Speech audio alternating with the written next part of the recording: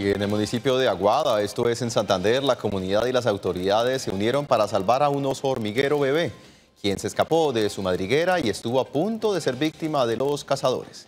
Esta es la nota positiva de hoy en Oriente Noticias.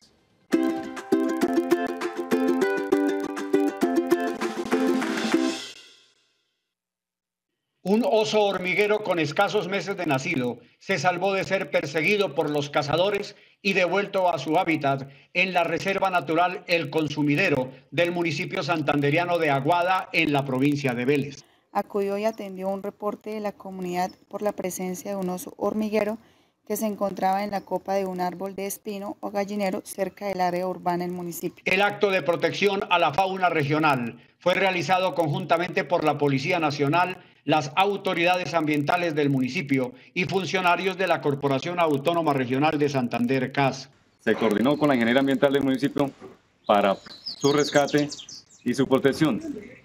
Posteriormente, se coordinó con el médico veterinario para su, para su evaluación, para indicar su estado de salud.